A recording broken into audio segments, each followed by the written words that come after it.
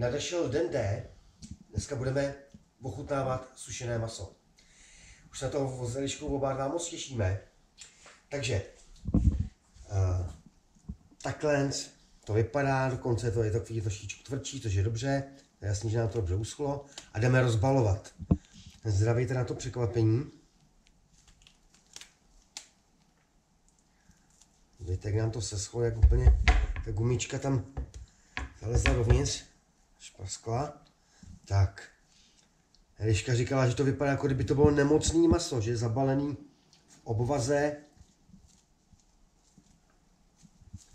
Tak.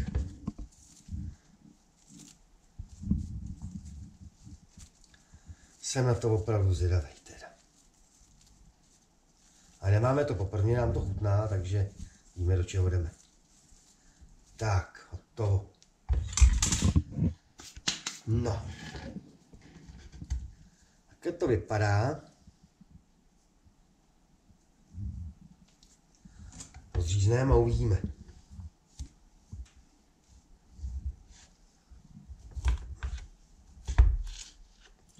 Víte, že jsem hodně musel tlačit nožem, protože je to opravdu sušený, ale podívejte na tu nádheru.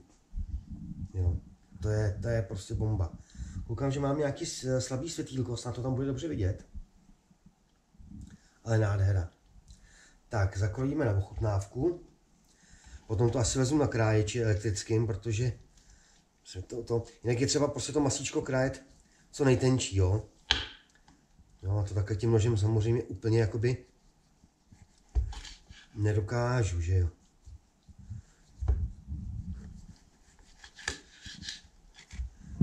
Tak, teď si dávám do pusy, protože se na to hrozně moc těším. Hmm. A Ježko, nádhera. Nádhera. Pojď si taky dát, pojď.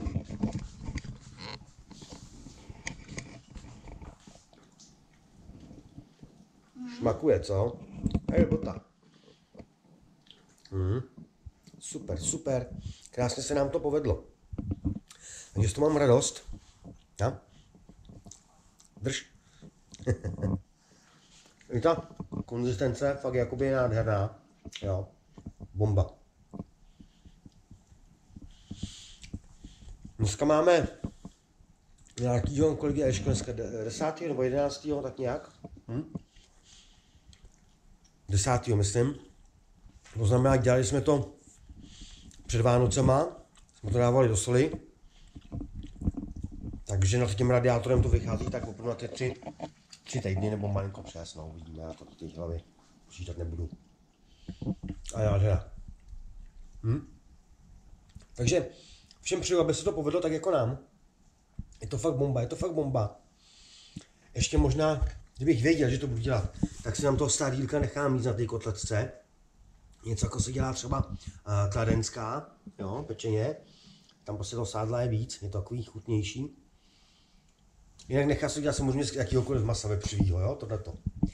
Tak, uh, doufám, že se vám dílo podaří, jako se podařilo nám. A zase budeme těšit dalšího videa.